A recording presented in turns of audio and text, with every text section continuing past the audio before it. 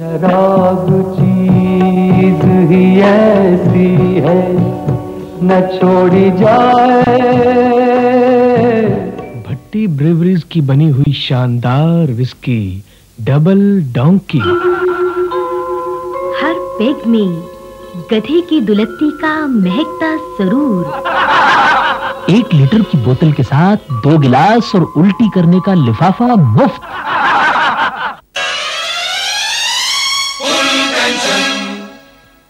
वो अपना रुलिया राम है ना तो बी मल्ले वाला। हाँ, हाँ। उसके मल्ले में तीन दिन पानी बाँध रहा। अच्छा? बड़ी हाहाकार मची यार। हाँ, हाँ। हर आदमी ने लिख कर म्यूनसिपैलिटी को कंप्लेंट की। हुए हुए। नारे लगाए हाँ। और रुलिया राम घर बैठा रहा। फिर? मल्ले के प्रधान ने रुलिया राम का दरवाज़ा खटखटाया। खट खट खट।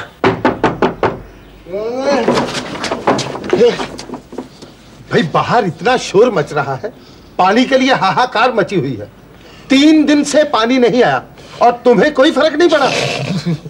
मुझे क्या फ़र्क पड़ना? मैं तो दारू वैसे भी पानी के बगैर ही पीता हूँ।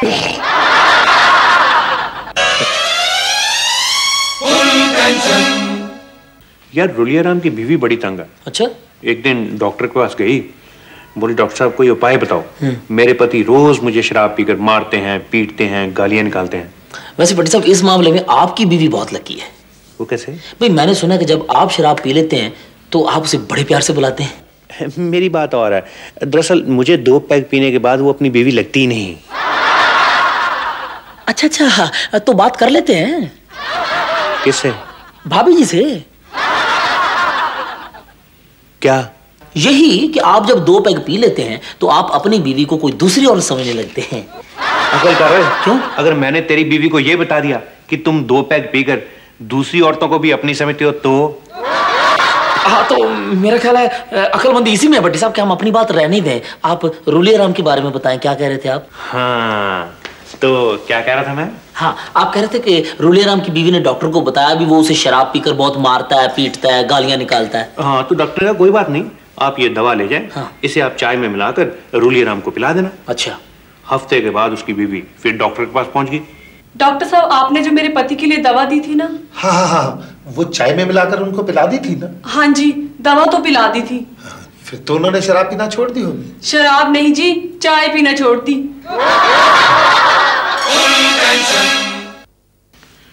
कल रात मैं और रूलिया राम पीकर आ रहे थे। अच्छा। भाई दोनों गटर में गिर गए। वाह ये बहुत अच्छा हो गया। क्या अच्छा हो गया? मेरा मतलब है दोनों इकट्ठे थे ना दिल लगा रहा होगा। नहीं तो अकेला आदमी तो गटर में बोर ही हो जाए। हाँ फिर इतना तो गटर का फ़ायदा है ही है ना। अब देखो ना ना तो गटर में बच्चों की टैट है ना बीवी की झिकझिक। आराम से खुलकर बातें करो। हाँ, यानी काफ़ी खुलकर बातें की होंगी आपने। खूब चालक ले रहा होगा ना? नहीं नहीं मैं तो उसे ना दरअसल सारी रात समझाता रहा। गटर में बैठ के। मेरा मतलब है क्या समझाते रहे? कि मानस जन्म बड़ी मुश्किल से मिलता है। इसे शराब पीकर गवाना नहीं चाहिए। अच्छा तो क्या कहता?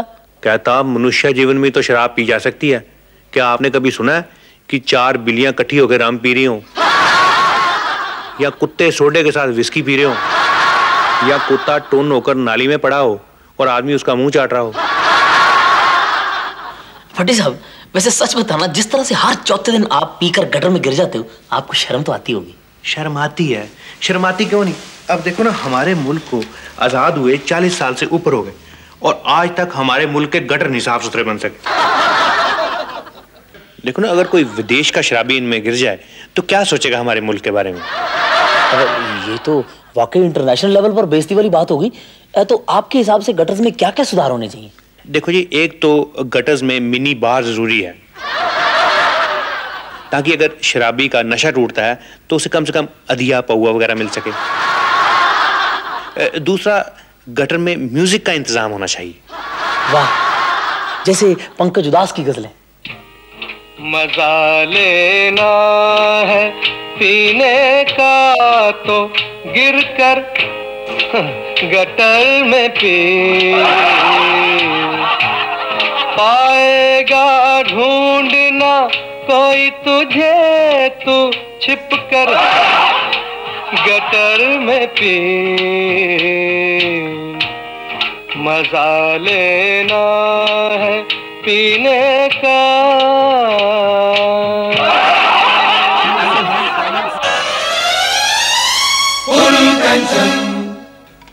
तबीयत बहुत ही खराब हो जा रही है। सवेर की उल्टियाँ नहीं रुक रही। चक्कर आ रहे हैं सिर पारा पारा हो रहा है। हालत बहुत खराब है बहुत। शराब चीज़ ही ऐसी होती है रुलिया राम जी। लगता है कल रात ज़्यादा पी ली। क्या बताऊँ डॉक्टर साहब? रात बैड कंपनी में फंस गया। बुरी संगत। बुरी संगत में? वो कैसे? रात आदमी थे चार। हाँ। तीन तो पीते नहीं थे। हाँ। बोतल थी एक। हाँ। वो एक बोतल सारी की सारी मेरे को खत्म करनी पड़ेगी। वेरी बैड कंपनी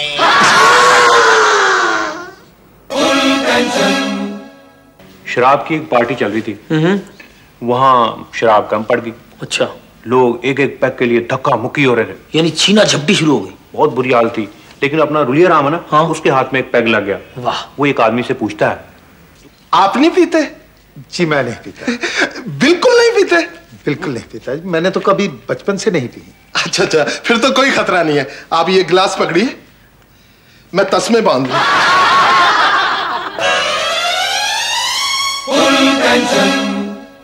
यार शराब चीज़ ही ऐसी है।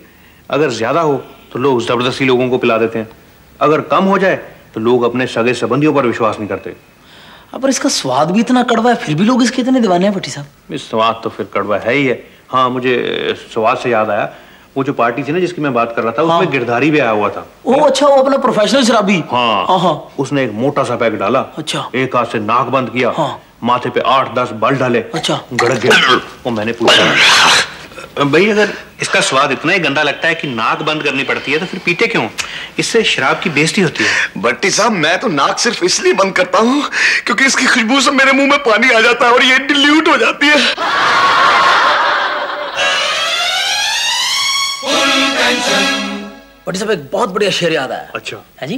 कहता है कौन कहता है? मैं ही कहता हूँ और कौन कहता है? अच्छा मैंने सोचा उधर से कोई कह रहा है।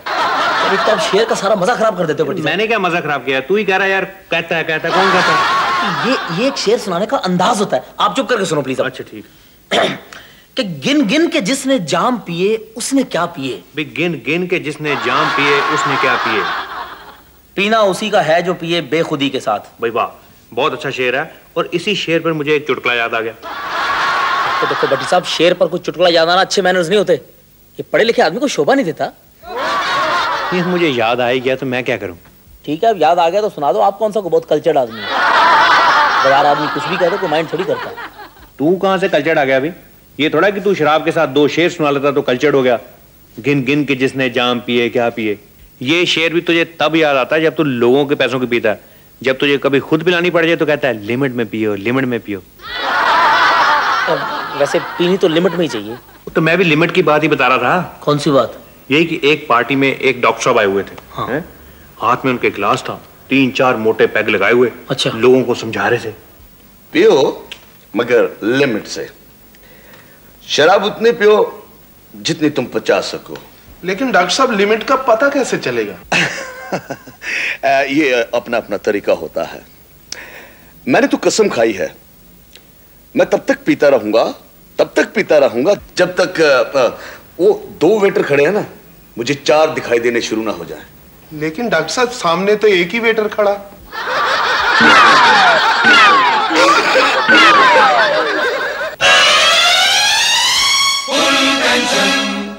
अब हम आपके लिए लेकर आए हैं शराबी क्विज। दारू पी ले दारू पी ले दारू के दिन आए। पियो पियो पियो पियो। बैठिए बैठिए। शराब के बारे में गाना नहीं गाना क्विज है क्विज। ओके ओके सिर्फ़ पार्टिसिपेट करना है। तो भाई और बहनों हमारी दो टीमें हैं हमेशा की तरह एक बेवकूफ़ों की एक समझदारों की। तो सबसे पहले समझदारों के लिए हम एक उनके लिए क्लिपिंग दिखाएँगे। इस क्लिपिंग में दो आदमी हैं आप देख रहे हैं और आपने अंदाज़ा लगाना है कि इनमें से सूफी कौन है शराबी कौन है। मतलब इन दोनों में से शराब का शौकीन कौन है? हाँ जी बताइए। सर मैं ये बता सकता हूँ कि इन दोनों में दूध का शौकीन कौन है? अरे भाई दूध का क्विज नहीं है ये शराब का क्विज है। हाँ आप बताइए। दाढ़ी वाला शराबी है। मैं मत- नहीं आप नहीं जो टीवी में दाढ़ी वाला है। हाँ फिर ठीक है। तो वैसे आपने दाढ़ी से अंदाज़ा लगा लिया कि वो शराब का शौकीन है? दाढ़ी से नहीं, उसकी टोकरी में सोडे की बोतलें हैं। दाद देनी पड़ेगी आपकी नज़रों की, तीखी नज़रों की। बहुत ही बढ़िया। आप कहीं भी छिपा हुआ सोडा पहचान लेते हैं। शराब के शौकीन लगते हैं आप, हैं? दूसरा सवाल है बाई चांस फिर मूर्खों का मेरा मतलब बेवकूफों का। सवाल है, एक पीने वाला, एक पीने वाला दूसरे पीने वाले को ज़बरदस्ती क्यों कहता है? और पियो और पियो। आमतौर पे ऐसा होता है ना इसलिए जी ताकि जितना नुकसान उसकी अपनी सेहत का होता है वो चाहता है भी कम से कम उतना नुकसान तो दूसरे की सेहत का भी हो। बिल्कुल ठीक वेरी इंटेलिजेंट आंसर शर्म आनी चाहिए सामीदारों को। वैसे मुझे खुद शर्म आ रही है ऐसा क्विज कंडक्ट करते हुए। खैर सामीदारों के लिए एक और चांस एक क्लिपिंग है। इस क्लिपिंग में आपने ये अंदाज़ा लगाना है कि इसमें से प्रोफेशनल शराबी कौन है और नॉन प्रोफेशनल शराबी कौन है इन दोनों में से। इसमें अंदाजे की क्या बात है जी? वो दाढ़ी वाला प्रोफेशनल शराबी है क्योंकि बोतल उसके पास है। ये हंसने से बात नहीं बनती दिमाग लगाना पड़ता है। हाँ जी आप बताइए। वो ऐनक वाला बाबू प्रोफेशनल शराबी है। अ, वो कैसे? क्योंकि वो शराब के साथ कुछ नहीं खा रहा। तो क्या होगा? प्रोफेशनल शराबी को पता है कुछ भी खाने से शराब पीने की कैपेसिटी कम हो जाती है। बहुत ही बढ़िया हाँ, बिल्कुल सही जवाब दिया आपने। तो बारी है अब मेरे ख्याल बेवकूफों की है? सवाल है शराब पीकर लोग अपनी बीवी को क्यों पीटते हैं? दरअसल जी पिटाई तो शराबी की अपनी हो रही होती। उसे तो सिर्फ़ शराब पी के लग रहा होता कि मैं अपनी बीवी को मार रहा हूँ वरना अपनी बीवी को मारने की हिम्मत कौन कर सकता है? हाँ जवाब दुरुस्त है। और इसी के साथ बेवकूफों की टीम जीत गई। इसी के साथ हमारा क्विज खत्म हुआ। नमस्कार। भट्ट साहब भट्ट साहब हमारा ये नाम बाकी क्विज वाले तो इतने इनाम देते आपने तो हमें कुछ भी नहीं दिया। तो मैं क्या करूँ? हमें अपने क्विज के लिए कोई स्पॉन्सर ही नहीं मिला।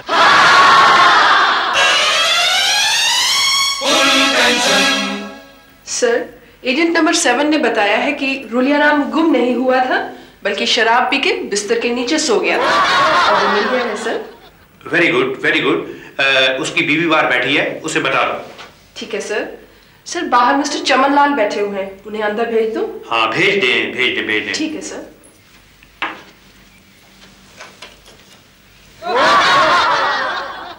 नमस्कार सर। सर मेरी प्रमोशन के बारे में कुछ पता चला? कुछ समझ नहीं आ रहा मेरी तरक्की क्यों नहीं हो रही? हाँ वो हमारे एजेंट नंबर फाइव ने सब पता कर लिया है कि तुम्हारी प्रमोशन क्यों नहीं हो रही? कि- क्यों नहीं हो रही सर? सात तारीख को शाम ठीक सात बजे तुमने अपने बॉस को अपने घर में इनवाइट किया? यस सर सुहावना मौसम था। ठंडी ठंडी हवा चल रही थी। तुमने अपने बॉस को चाय पिलाई? हाँ। चाय ही नहीं पिलाई बल्कि गुलाब जामुन कचौरी पकौड़े और ठंडे ठंडे रसगुल्ले भी खिलाए। इसीलिए डिमोशन हुई है।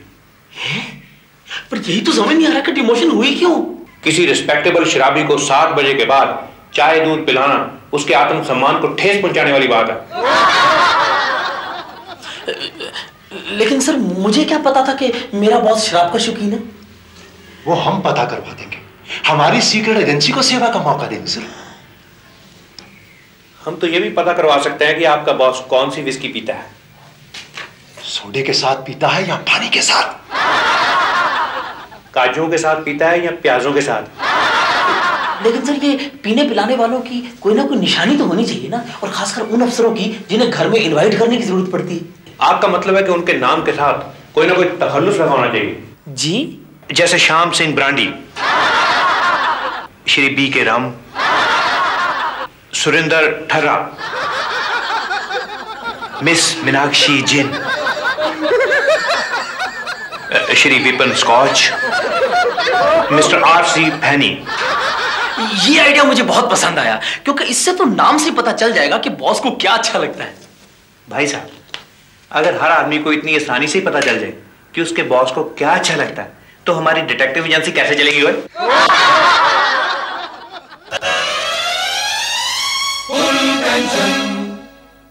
रुलियाराम ये जो शराब होती है ना बहुत बुरी चीज़ होती है।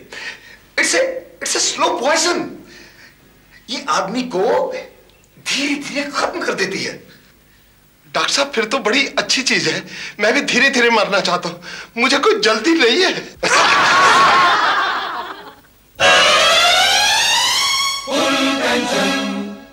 एक जाने माने शराबी जब शरीर छोड़ गए तो उनकी याद में शराबी दोस्तों ने एक शोक सभा का आयोजन किया। रोशन लाल जी की जितनी तारीफ़ की जाए उतनी ही थोड़ी है। देसी अंग्रेज़ी कच्ची पक्की असली नकली हर तरह की शराब हँसते हँसते पी जाते थे। ठेका खुलते ही आ जाते। और ठेका बंद होने तक हर एक का साथ निभाते। फेफड़े गल गए जी उनके। लेकिन उन्होंने शराब की बेइज्जती नहीं होने दी। यही कहा फेफड़े कमज़ोर थे शराब तो ठीक थी। मोह माया तो वो कब की त्याग चुके थे? बिल्कुल सही कह रहे हो। बीवी बच्चों से उन्हें कोई मोह नहीं था। और माया माया वो शराब की दुकान पे आके त्याग देते थे।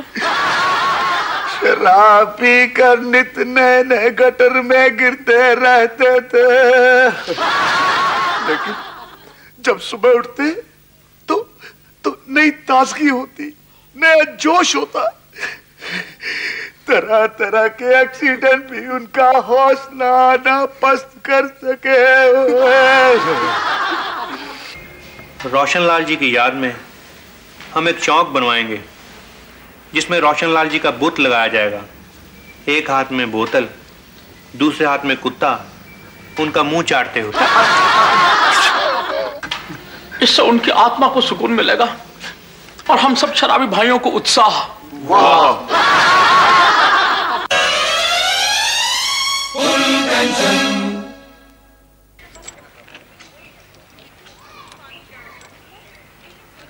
और रोको रोको रोको रोको ओए! ओए, रोको! इंस्पेक्टर आप जरा उतरेंगे टेस्ट करेंगे कि आपने शराब पी है या नहीं। इंस्पेक्टर साहब मैं तो सूफी आदमी हूँ जी चाय भी नहीं पीता शराब तो बहुत दूर की बात है। हवलदार जरा सूंघ कर देखो। मुँह खोलो। साहब इसके मुँह से बहुत गंदी बदबू आ रही है। बदबू आ रही है? जाने दो जाने दो। सर देखिए आपने मुझे छोड़ दिया मैं आपका आभारी हूँ। लेकिन ये गलत बात है कि मेरे मुँह से बदबू आ रही है सर देखो ये हमारा अपना टेस्टिंग सिस्टम है। तुम अपना काम करो। जाओ। कह दिया बदबू आ रही है सो आ रही है। सर लेकिन मेरे मुँह से बदबू नहीं आ रही सर। चल साहब एक और आदमी पकड़ के लाओ जो तुम क्या कर रहे हो? साहब इसके मुँह से बिल्कुल वैसी खुशबू आ रही है जैसे आपके मुँह से आती है। काट दो चलान साले का पी कर गाड़ी चलाते हैं।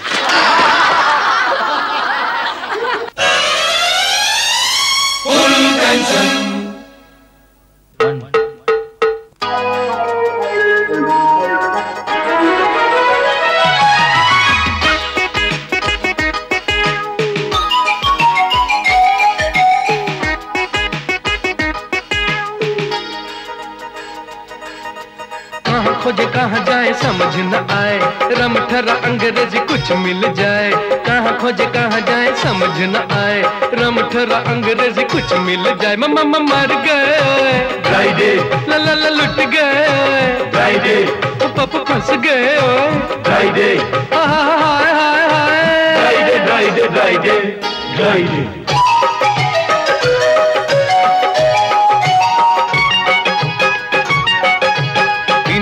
सब परेशान है। बस में न दिल और जान है। पीने वाले सब परेशान है। बस में न दिल और जान है। कहाँ दारू ढूंढे यहाँ घूमे वहाँ घूमे कुछ ना सूझे किसको पूछे? कहाँ माथा पटके बंद ठेकों में पटके मामा मर गए फ्राइडे ला लुट गए फ्राइडे पापा फंस गए फ्राइडे हाय हाय हाय फ्राइडे फ्राइडे फ्राइडे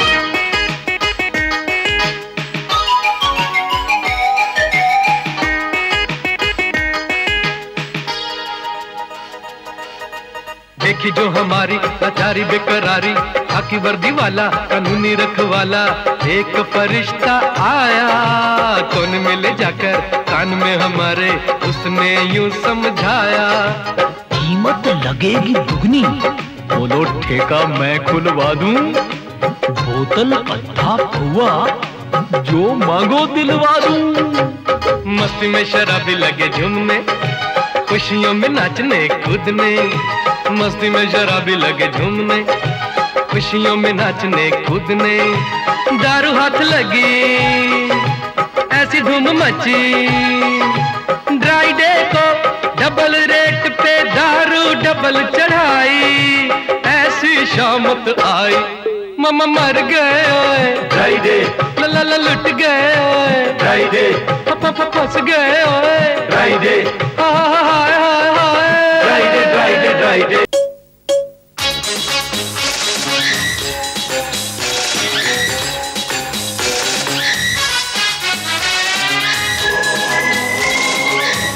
को भी जनता को भी राजा को भिकारी को, डॉक्टर को, रोगी को, सूफी को, शराबी को। Full tension full tension full tension full tension